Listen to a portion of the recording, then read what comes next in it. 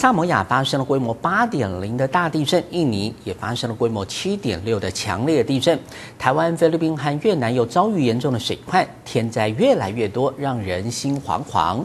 不过，只要把担心化为爱心，就可能化解灾难。回顾九二一地震前的一个月，一九九九年八月十七号，土耳其发生了大地震，一万七千人死亡，泽界发起了驰援土耳其、勤迁苦难人的活动。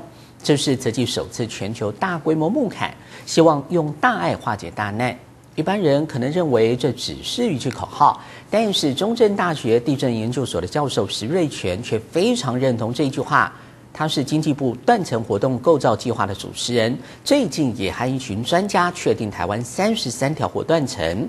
这位知名的科学家为什么相信大爱可以化解大难？而这样的想法又为天灾不断的此刻带来什么样的醒思呢？请看我们的报道。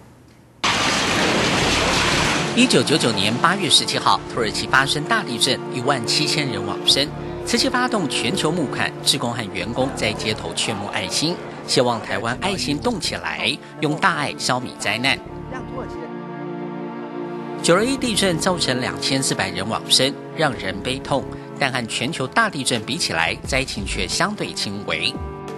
一百零八年来，比九二一大的地震有三十六次，大约三年一次，平均三万零一百九十七人往生。就算和九二一一样大，平均也有两万零五百人往生，这是九二一的八点五倍。土耳其地震的规模释放的能量差不多跟台湾相当，但是呢，它所死亡的人数呢，是我们台湾的五六倍以上。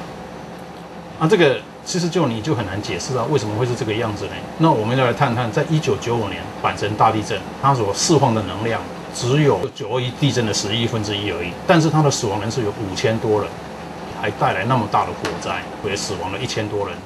两千零八年四川大地震释放能量是九二一的三倍，亡生人数八万七千人是九二一的三十六点五倍。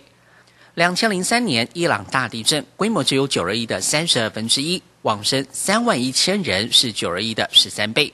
而一九六零年的摩洛哥大地震规模更只有九二一的一千分之一，一万五千人亡生是九二一的六点二五倍。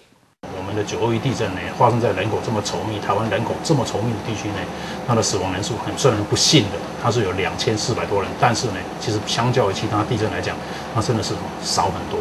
这个是其实不是只有我这个我有这个疑问了，其实后来哈，全世界很多个科学家对这个也有疑问。地震后有一个中度台风丹恩要侵袭台湾，最后却从台湾海峡扫过，台湾本岛几乎没有任何灾情。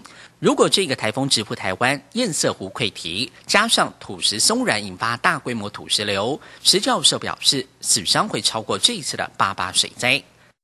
九二一不论发生的时间和地点，都让台湾的灾情降到最低。那后来上人跟我讲，其实这就是因为我们爱。这心里面的爱，才会让我们的里面，让我们的灾情减低到这样想。你很多真的是你没办法单纯用科学去解释。可是我觉得我们的心呢，我们的心呢，绝对有这种大的力量，它可以让我们产生这一种灾害，把它减低下来。一个地方爱心人士越多，灾难就越少。面对极端气候、天灾频传，唯有启发更多的爱心，接引更多人间菩萨投入，才能用大爱化解灾难。大爱新闻李明君赖世宝采访报道。